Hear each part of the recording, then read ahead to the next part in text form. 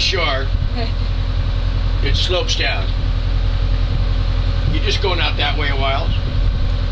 When you get about halfway done, you just turn around and come back. The shore is on your on your right, and then peek slowly up and find the boat because you have no idea where it is. And then you come back to the boat. Right? Right.